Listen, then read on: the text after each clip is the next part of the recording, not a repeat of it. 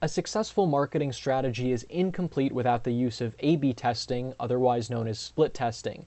Essentially, this is a process where you're experimenting with different variations of something, whether it's an image, a video, the copy you write, etc. Your goal is to determine which one is most effective at converting users to your desired goal. Once you determine that winner, you can then double down your efforts on that single strategy and convert and optimize for your end goal.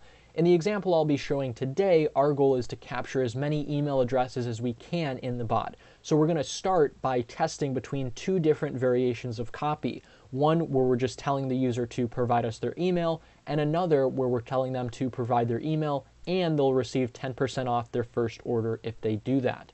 So we're going to start by creating these two different variations, one in each block. Let's create a group and we'll call it email A-B test.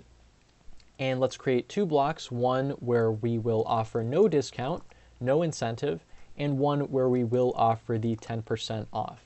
Great. On each of these blocks, let's add the user email plugin. And we'll just tell them on the no discount block, tap below to share your email. We'll save this to an attribute called no email, no discount. And then we will be naming the other option on the other block a different attribute. That's key. So I'm going to copy this text so I keep it consistent and add to it. We'll add the user email plugin. And here I'll say tap below to share your email and get 10% off your first order. Excellent. We'll call this email discount. Perfect. So we have these two different variations set up. We could add a confirmation message at the end as well if we wanted to.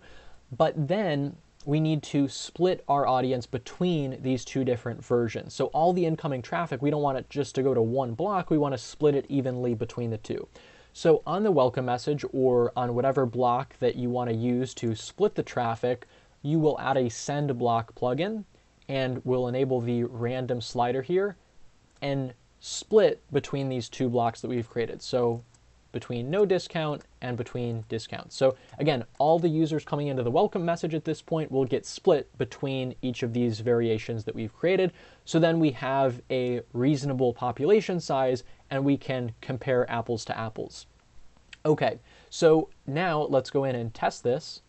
I'll get one of the two options, tap below to share your email. So I've gotten the no discount variation and I'm not gonna click on that, right? I'm just gonna say, you know, I that's not a, enough of an incentive for me, so I'm just going to let it sit. Okay, so then once you've run this test, you've driven enough traffic to your bot to get some sort of informative data, we can measure the success from the People tab.